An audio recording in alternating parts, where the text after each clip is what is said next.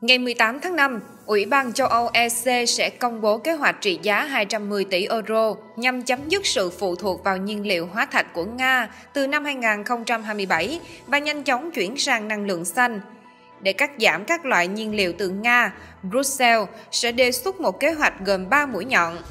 Chuyển sang nhập khẩu nhiều khí đốt ngoài Nga, triển khai nhanh về năng lượng tái tạo và nỗ lực hơn nữa để tiết kiệm năng lượng. Theo Reuters, các biện pháp dự thảo vẫn có thể thay đổi trước khi được công bố, bao gồm sự kết hợp của các luật Liên minh châu Âu EU, các kế hoạch không ràng buộc và những khuyến nghị mà chính phủ các nước có thể thực hiện. EU dự kiến sẽ yêu cầu đầu tư bổ sung 210 tỷ euro bằng cách tài trợ kinh phí cho tiến trình chuyển đổi năng lượng từ quỹ phục hồi COVID-19 và giảm hàng tỷ euro mà châu Âu chi cho nhập khẩu nhiên liệu hóa thạch mỗi năm –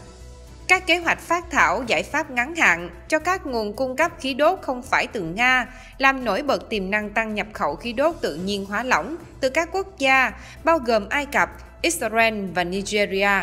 cộng với cơ sở hạ tầng cần thiết để xoay trục khỏi Nga. Nhu cầu khí đốt của châu Âu dự kiến giảm khoảng 1 phần 3 vào năm 2030 theo các mục tiêu của khối nhằm chống lại biến đổi khí hậu và các đề xuất cũng sẽ đề ra mục tiêu sản xuất 10 triệu tấn hydro tái tạo vào năm 2030, cũng như nhập khẩu 10 triệu tấn nhiên liệu khác có thể được sử dụng để thay thế khí đốt trong công nghiệp.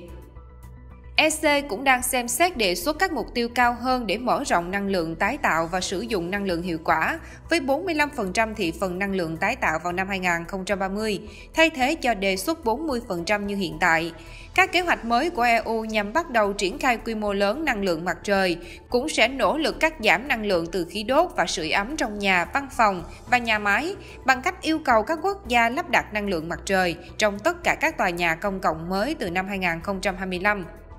có hai giải pháp được đưa ra, một giải pháp ngắn hạn, một giải pháp dài hạn. Trong ngắn hạn, Đức đang thực hiện các hợp đồng toàn cầu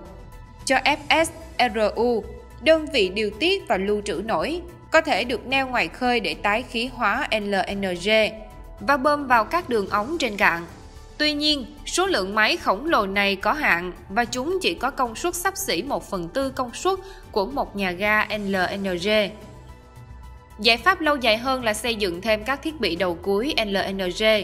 Một quá trình sẽ mất 2 đến 3 năm.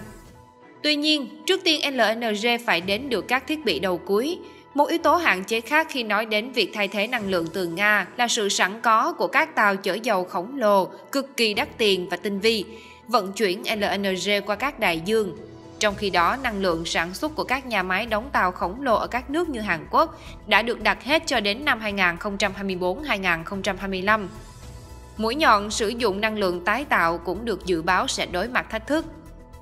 Báo cáo của DNV lưu ý chắc chắn có cơ hội để tăng tốc trên những mặt trận này. Năng lượng hạt nhân của Bỉ, máy bơm nhiệt của Pháp, năng lượng mặt trời của Đức và gió từ châu Âu sẽ góp phần giảm sự phụ thuộc vào năng lượng nhập khẩu của Nga Tuy nhiên, báo cáo cảnh báo, một số lựa chọn trong số này có thể tạo ra sự khác biệt trong năm nay, những số khác thì cần nhiều năm để có hiệu quả đáng kể.